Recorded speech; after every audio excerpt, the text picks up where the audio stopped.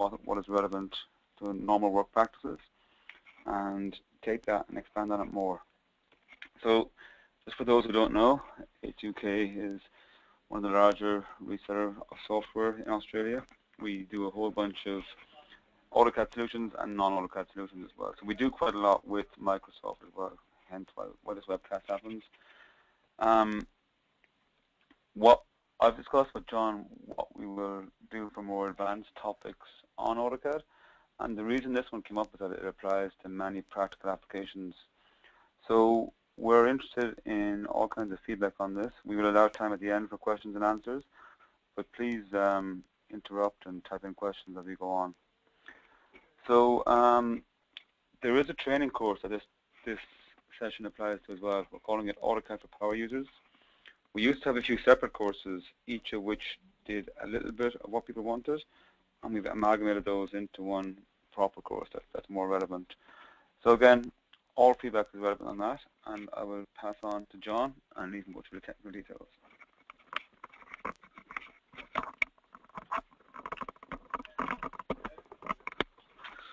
Thanks for that, Sean.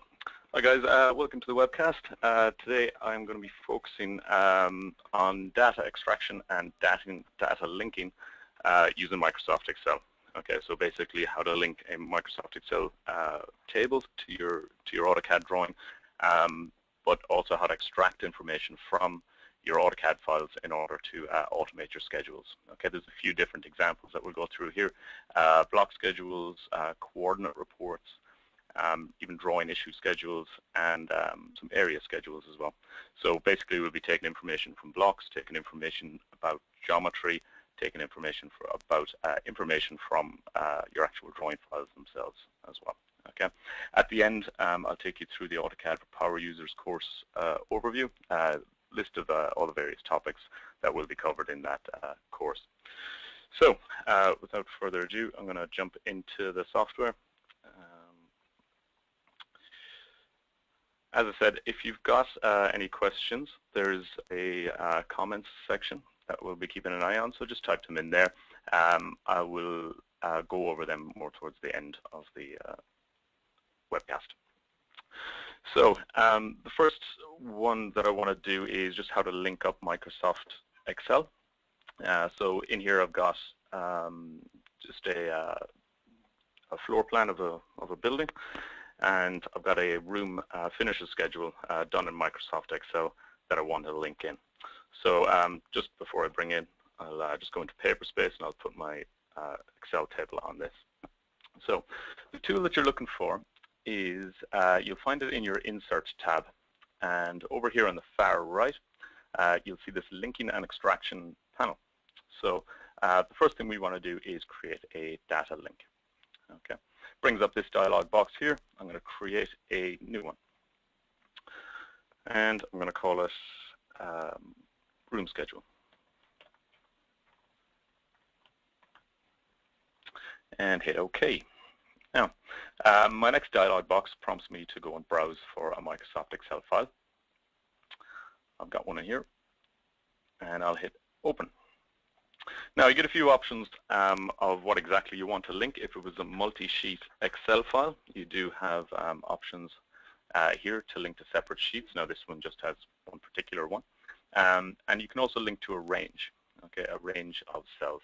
So I'm going to link to a range of um, cell A1 to, I think E20 is uh, pretty much my full full scale there. Um, and I'm going to hit OK and I'll hit OK. Just to say preview is too large here. Sometimes you, you might just get that and sometimes you get a preview, but it's not, it's not usually important. Now, I'm going to hit OK.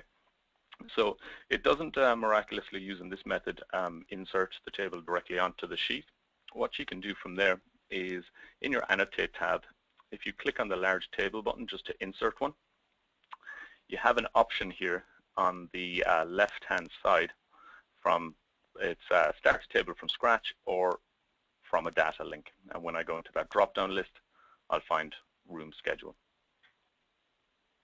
Okay, room schedule, you'll notice everything on the right-hand side will start graying itself out because it's being controlled by Microsoft Excel.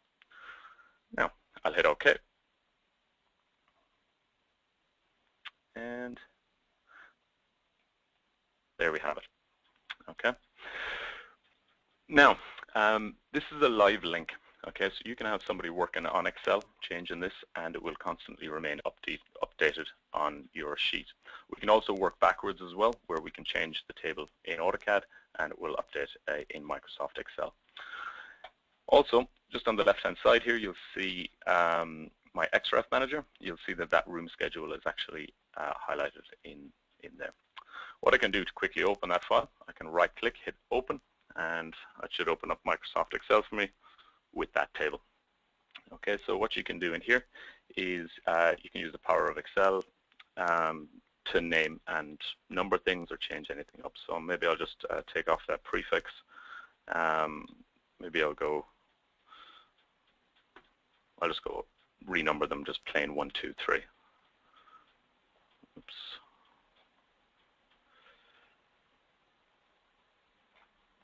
There we go. Okay.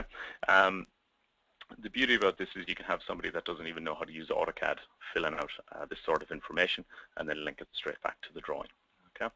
Now, in order to for it to update in the drawing, I'm just going to have to save that file and close it up.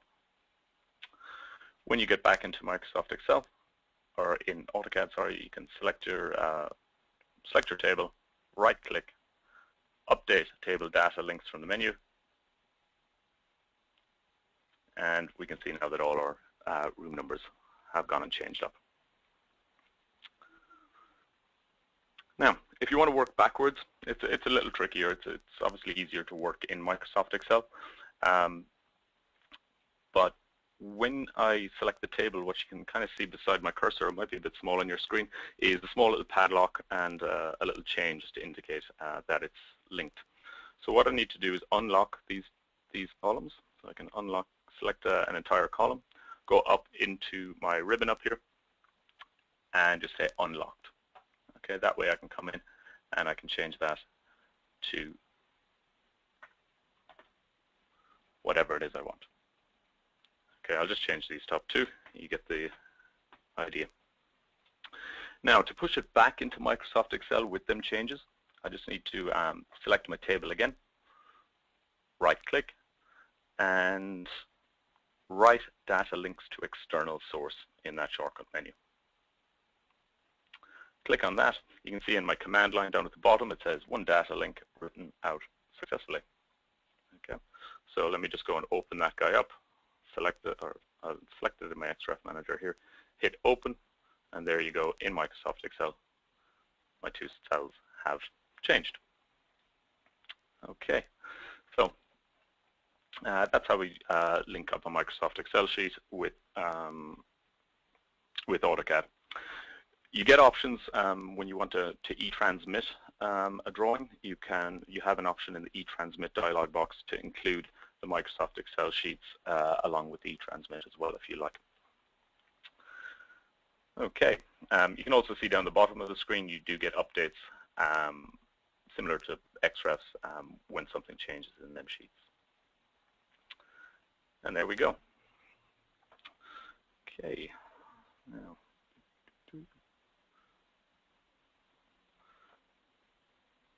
Okay, I'm just keeping an eye on questions. Okay, next up, um, I'm going to take a look at uh, extracting information from geometry in the drawing, which might be of use to you. In model space here, what I've got is uh, I've got a whole series of polylines um, that are running around the areas of uh, these buildings. Okay, so I'll try and highlight a couple of them. There's one, there's two, three, and so on. Okay, um, I've got them all set up on, on separate layers.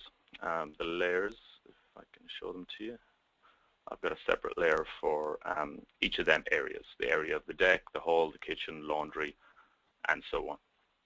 Now you can set these layers not to print if you, if you so wish as well. So I'm going to go back into my sheet because that's where I'm going to put uh, my table. So in my Insert tab, over here on the far right-hand side, we get this option for Extract Data, right here. Now, um, there's a few different steps to this. You can see in my first dialog box, it's uh, step one of eight. Um, the idea is here, though, that we can just kind of create it once, we can create a template file out of it. And anytime you want to do, let's say, an area schedule on another project, you can really whiz through um, all of the eight steps. But for now, I'm going to do it from scratch. So I'm just going to hit next. Um, I'm going to give it a name. I'm going to call it uh, area schedule. I've already got one in there. Um, so I'm just going to save over this guy.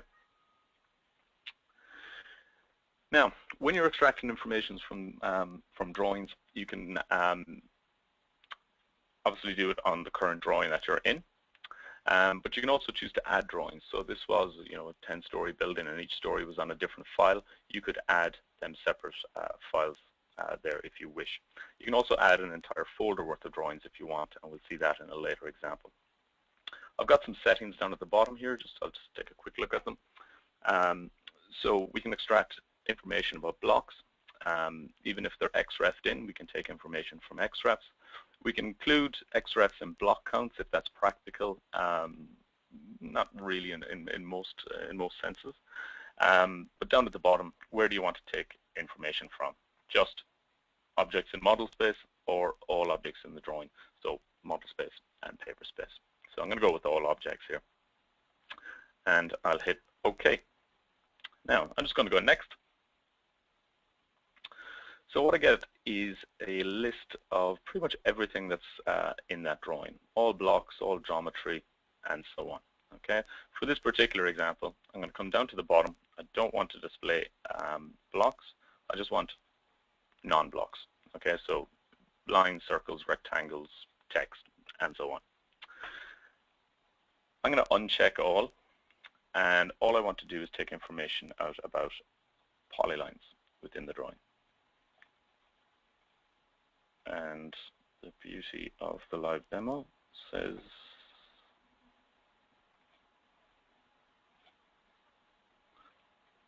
uncheck all, tick. Sorry, it just wouldn't tick for some reason. Okay, so pulling all the polylines out of the drawing. When I go into the next uh, step, what I get is pretty much every single piece of information that I could potentially take out um, of them polylines. And there is a lot of stuff in here. Um, most of the stuff we don't need uh, in this particular example that we'll see a little later. So on the right hand side I've got a filter. I just want to take out information to do with the geometry and general. Okay, general is going to give me the layer. So I'll uncheck all again, give me the area and give me the layer that it's sitting on. Okay, I could also get length if you want to get perimeter lengths of rooms and so on. I'm going to hit next. Now, so this is pretty much a preview of what my um, file is going to look like, and you can see that it's a little bit messy. First of all, I've got the count column over here on the left-hand side. I don't need to see that. It's just telling me that I've got one polyline. I've also got the name column, which just says polyline, so I'm just going to uninclude that. I'm going to reshuffle these two over, so I get the layer and then the area. Now, obviously, I'm picking up every single layer in the drawing, so what we can do, I'm going to right-click in there, and I've got some filter options. So um, when we go into filtering, uh, what I can do is untick any of the layers that I don't need.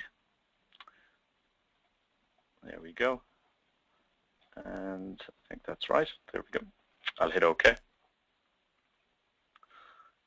And up at the top here, I've got uh, area, so it's giving me the area in square millimeters to four decimal places, which is far from ideal.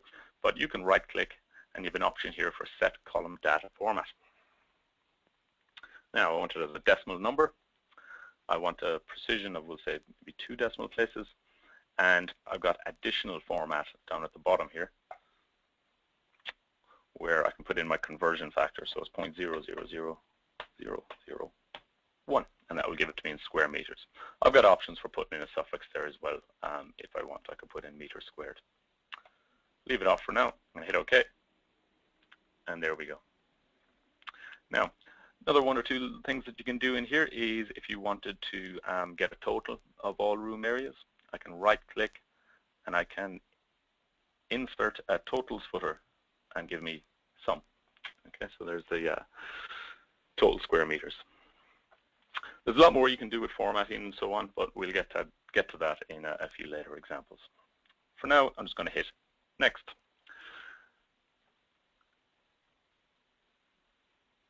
Okay, so in, uh, in this dialog box is very simple. You can either insert the um, table just onto the drawing, but also at the same time you can actually push it out to Microsoft Excel if that's what you want, if you're going to work in Excel in opposed to AutoCAD.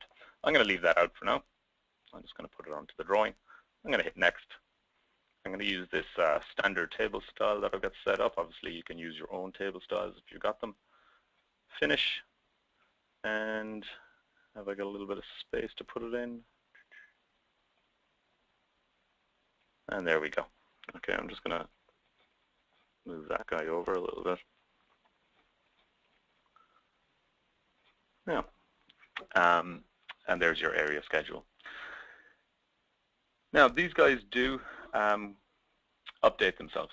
Okay, so as polylines get bigger, um, this area will change. So we'll keep an eye on our square meters down here, 196. I'm going to go into model space, and I'm going to make one of the rooms bigger, maybe the uh, deck down here. I'm just going to use my stretch command. Make the deck a little bigger. Okay, I might have to move the railing and so on there, but that should do it. In my table, what I can do then, select it, right-click, update table data links,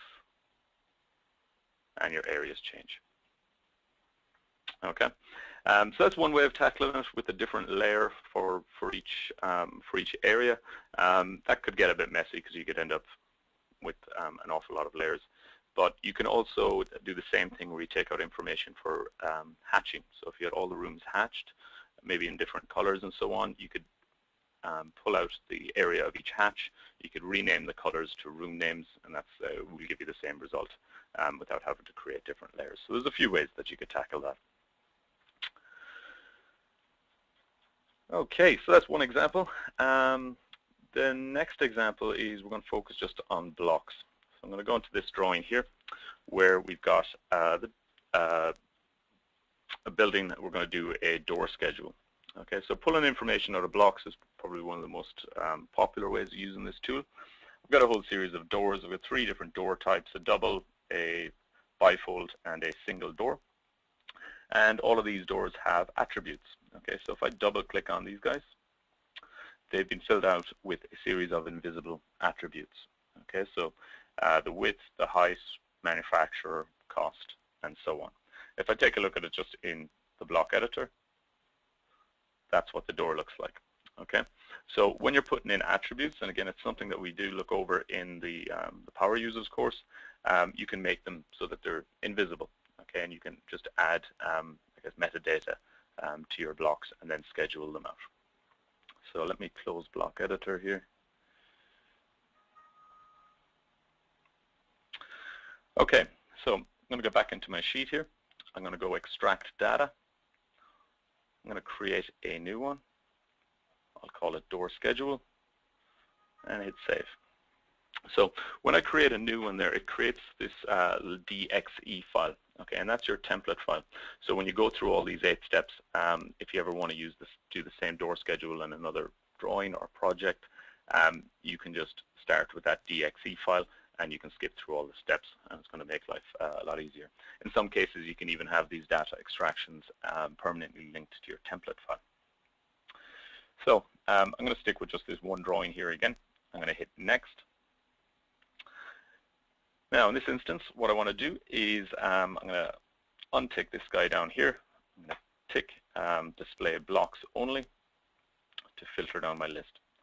I'm going to uncheck all and there's my three door blocks, door, bifold, and French. And I'm going to hit next. Okay, again, a big list of information.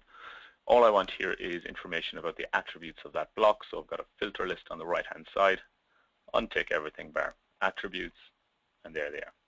Okay, I'm going to bring them all in. So I'm going to hit next. Now let me make this a little bigger. There's our uh, drawing schedule as it is. So if you want to um, shuffle this around the place, uh, you can. So if you wanted maybe reference number to be first in the list, followed by name, count, put height and width together, and maybe I'll stick cost uh, down at the end. Okay, so just pushing and pulling the uh, the headings up at the top will do that for you. Now, what you can also do in here is you can start introducing things like formulas. Okay, so um, I'm going to do a uh, cost formula. So each door has got an individual cost. So I'm going to get totals. So I'm just going to right-click in here. You get an option for Insert Formula Column. And we can call it, uh, oops, total cost. On the right-hand side, I can say get cost, multiply it by count. You have an option here to hit validate. It'll tell you if it's a valid equation, and I'll hit OK. And there's my cost column. Now, uh, again, we get four decimal places and so on. I'm going to right-click here again, set column data format, and now I can actually set it to a currency, set it to the dollar, zero decimal places, and hit OK. I can also right-click, insert a totals footer, sum, and you get the total cost of all your doors. Okay, so there's an example where you can use a formula in here as well. And that's about it. That's all I want to do in this in this particular one. So I'm just going to hit next. I'm just going to insert it straight into the uh, drawing. Next, I'll use my standard table style, and I'll just hit finish. And there we go. Now, um, as you add or remove doors, sorry, let's just see total cost of 2,600. Um, might just maybe copy the entire project. Inside my table, right-click, update table data links, and your count and your cost and so on will update. Okay. Now, if you guys are using dynamic blocks as well, uh, if you've got dynamic blocks, uh, let's say doors or windows or something like that, that are um, designed to get wider or shorter, um, you can actually pull that information about parameters that you put in your, into your uh, dynamic blocks. You can pull them straight into your tables as well. Um, and that example I show in the in the Power Users course. Now, uh, next up, um,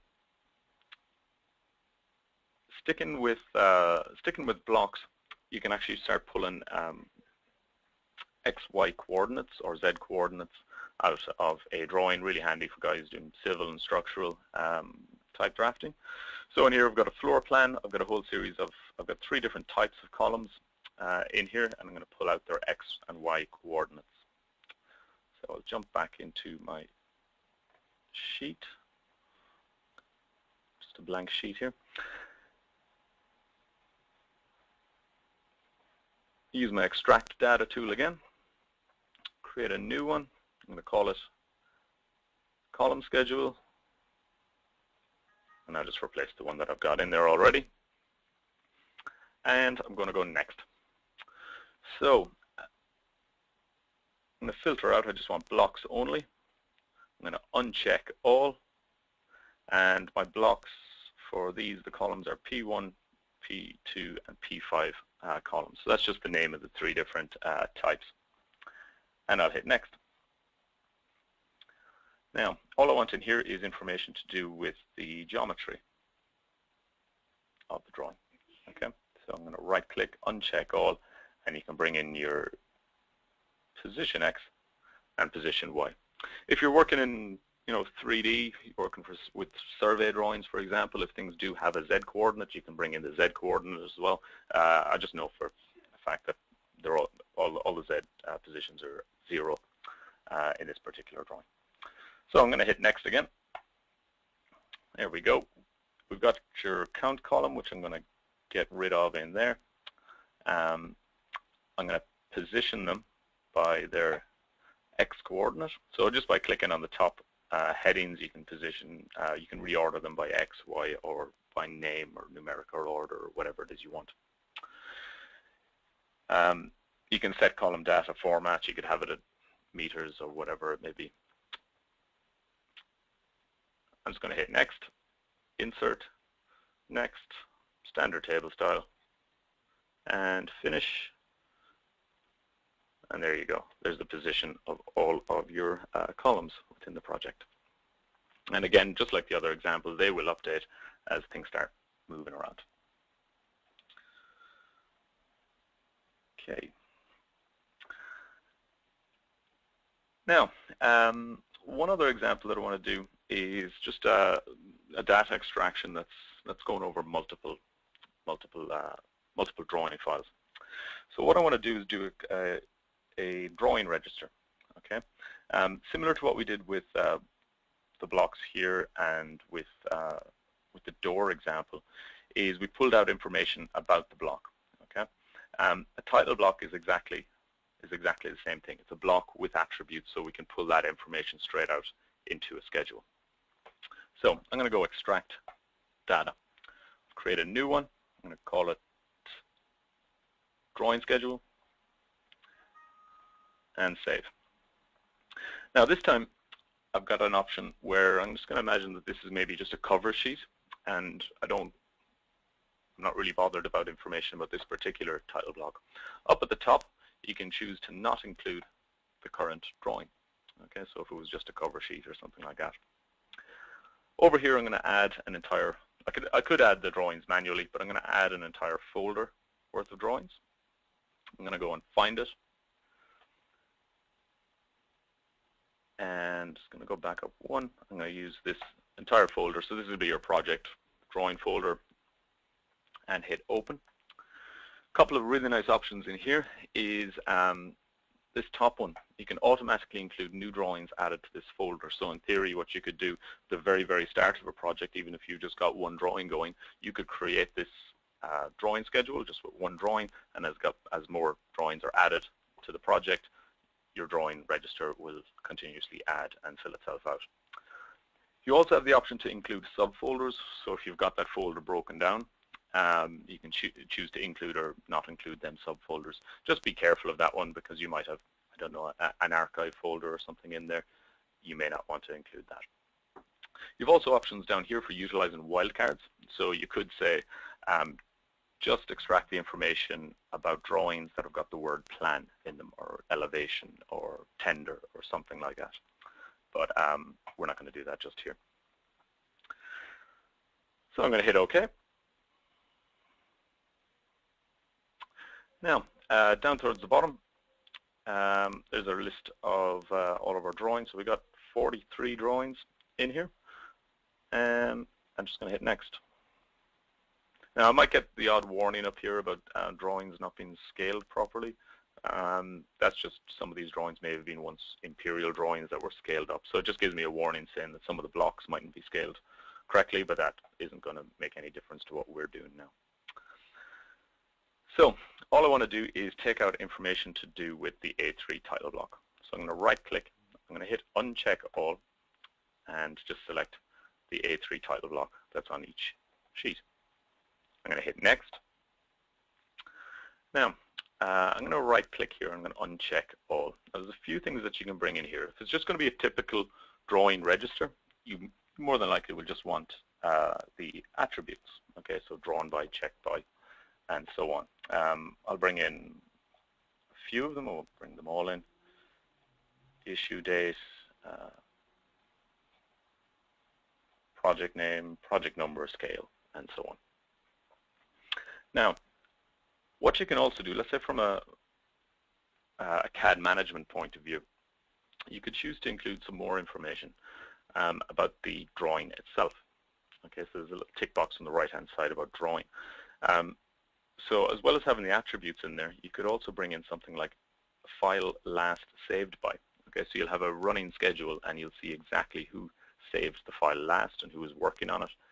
Um, you could also have something like file size. You could have file location where it's stored on your network, um, file name, because when you think about it, it's only going to bring the, uh, let's say, project or sheet title off the title block, but the file name where that sheet is contained might not be the same. In my case, I think it, it more or less is, but you could choose uh, file name.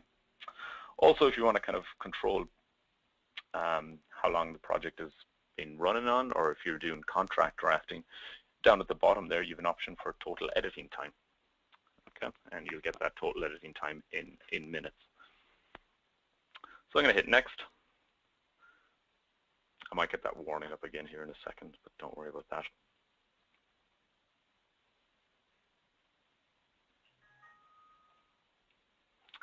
Now, um,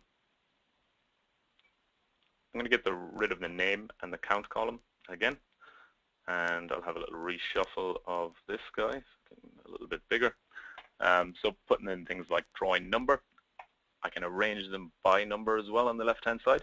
Um, if you do arrange them by number, if a new drawing is added, let's say um, drawing 104B, it will slot itself in here. It doesn't just tack itself onto the end. Okay, and I can have drawing title drawn by and rearrange this really whatever way it is that uh, you like. I'll hit next, insert it into the drawing, next, standard table style is fine, and finish. now this might be a little bit um, little bit big for this sheet. I'm guessing it's quite a large table. There's a lot of data in there. Um, so I might just, yeah, it is a little big. Might just pop it off to the side there. Okay, so what we get is a table with um, every single piece of information um, about our, our, file and our title block um, in one place. So if you ever need to really kind of do a re review of a whole series of uh, drawings, instead of printing them out and going through them uh, individually with a red pen, you can just open this guy up. You can then mod or you can um, analyze all your drawing numbers, file names, issue dates, and um, really just check for simple things like spelling errors or duplicate numbers or, or anything like that. Now, whether or not all of this information in this uh, in this table is going to be correct, you know for a fact that that's exactly what's written on them title blocks at this current mo moment in time. Okay, so then you can go and modify them or change them if you need to. With regards to the management side of things, you get um, who saved the drawing uh, last. You get the file size as well. So um, if you start going through this and you start seeing really huge numbers in there for particular files, you know that you might need to go in and investigate them and see why they're actually so um, so large. And also at the end, your total editing time in minutes. Okay, and this this will this will keep updated um, as well. Uh, that total editing time is calculated when the um, cursor, your mouse or keyboard is moving. Okay, so if you just leave your computer alone and go for lunch, it's uh, it's not going to count that time. Okay, so it'll give you a fair a fair idea of how long you've been working on in particular drawings. So um, I think that was the last example I really wanted to to, to show. Uh, there's there's uh, a load of other applications where you can where you can use this. In a lot of drawings, you'll be able to um, just jump into your existing drawings and start pulling information out of. Um, but in some cases, if you know these tools, what you can do is just kind of start designing and just start thinking ahead um, and just keep these tools in mind. So when you start creating blocks, you, you can now start adding that extra little bit of information that you might at some point uh, schedule as well. Okay. So um, now I'm just going to jump back uh, to my PowerPoint. Uh, here.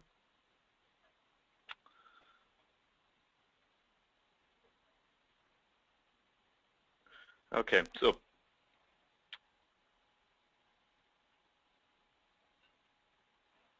Okay, so that was uh, that was all I wanted to kind of show you uh, on that, and hopefully that gives you a, a few ideas. Uh, next up, I just want to kind of have a little chat uh, about training. Okay, so I, have been running training, AutoCAD training here um, almost full-time for the last four years. Um, and in that time, I've, I've, pretty much trained everyone from every sort of level, every discipline um, in every industry. Now, in that time, I've come across um, a lot of topics that, um, that are very much underutilized uh, within within AutoCAD. Um, a lot of things that people, even experienced draftees, you know, 10, 15 years using AutoCAD have never really have never really used. Um, data extraction and data linking is one of them. So um, there's a few kind of common things in my uh, in my AutoCAD training journey.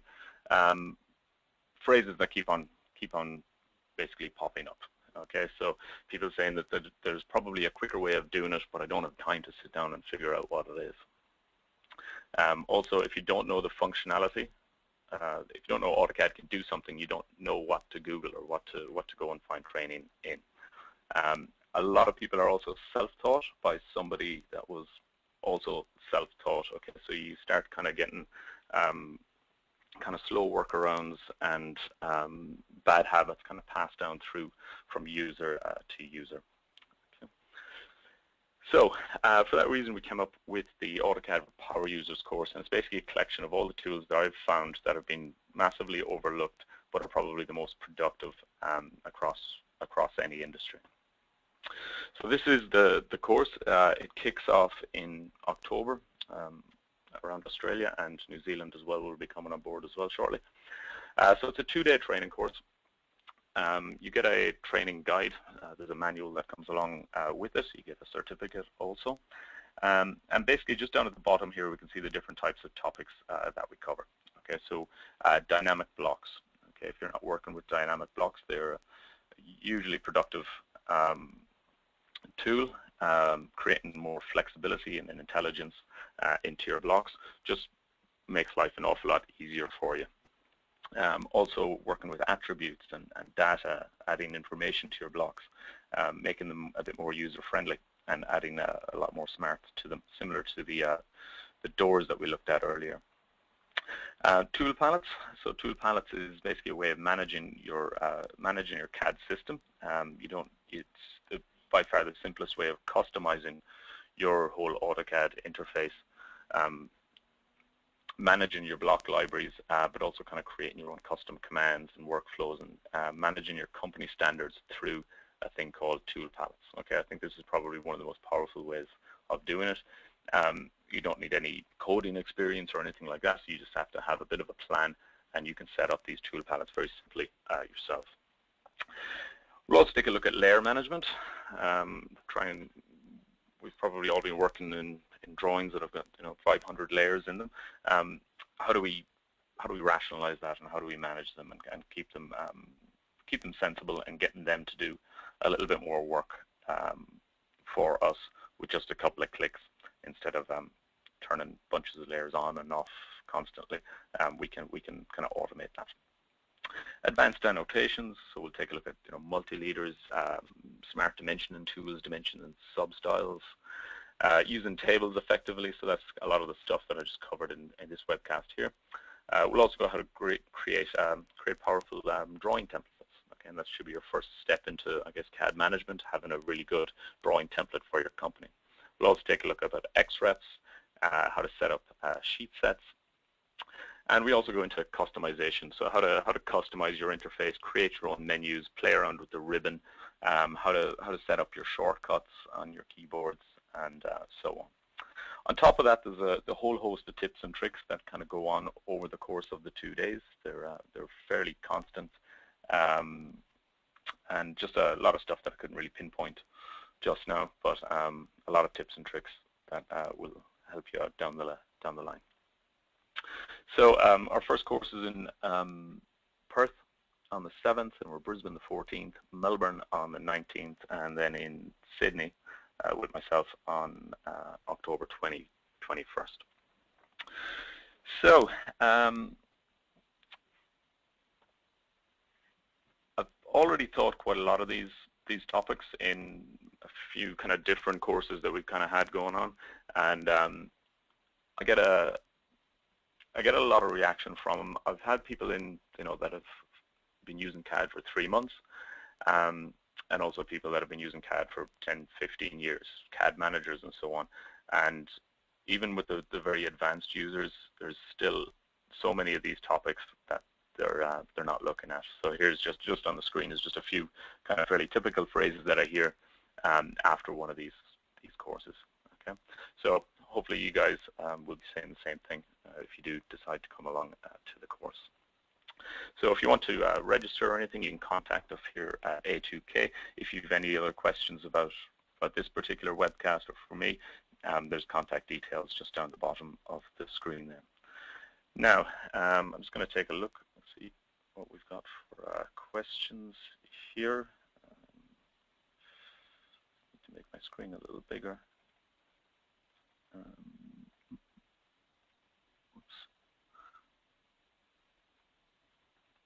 okay.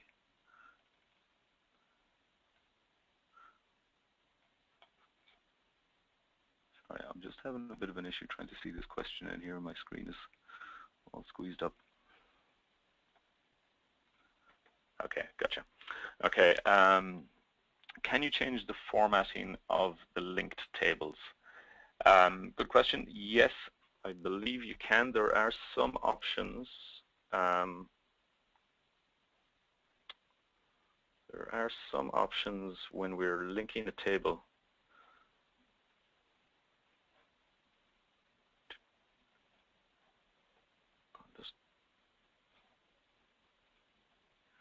Um,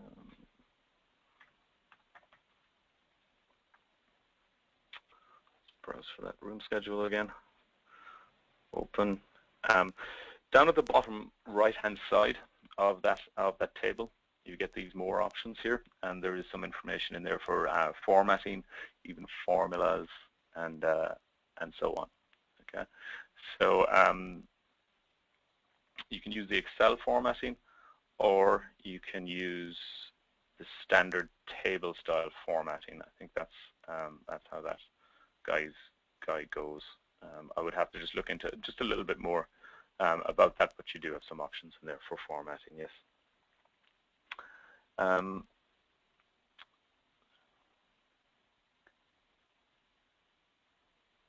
okay, another question was is there an option to create name slash tag for each of these polylines so that we can avoid multiple layers or hatch types?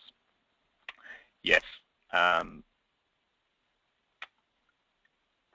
yes, there is. Okay. You will have to use the the hatch uh, hatch type. Okay, uh, it's not quite going to work for polylines, but if you were to extract the information uh, about, let's say, let's say, let's say you had each each one as a, a solid hatch pattern, and you had each solid hatch pattern as a different color. Um, let me just show you that option. I'm just going to hatch that solid. Okay. Now, when I go to my extract data tool and I create a new one next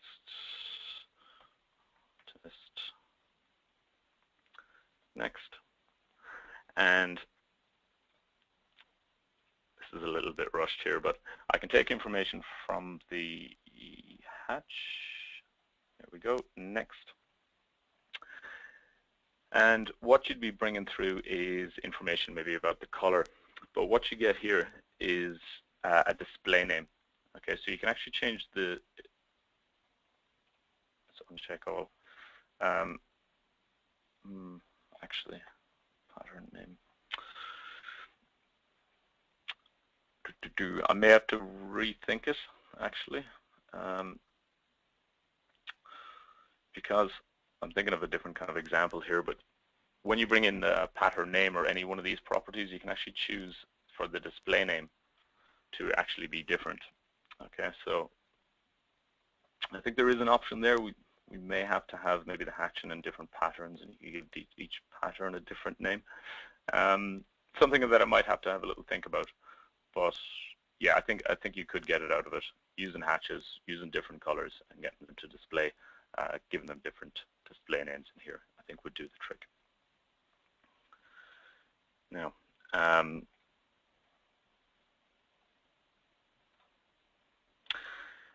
okay, um, just looking at questions there again. Um,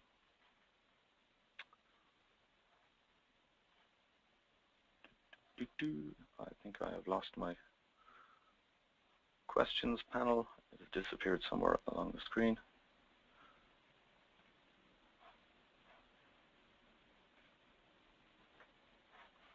Oops. Okay, I think I think that's about it, guys. Um, if I could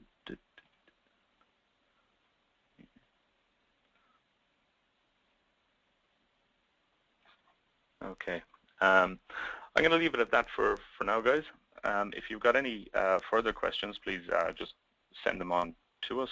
And uh, if you've got any questions about the course or of the web webcast, uh, just contact us here in A2K.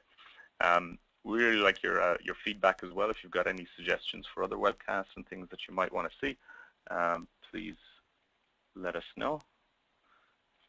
And sorry, Okay. Um, thanks for coming, folks. Um, hopefully I'll see you all again uh, soon. Cheers.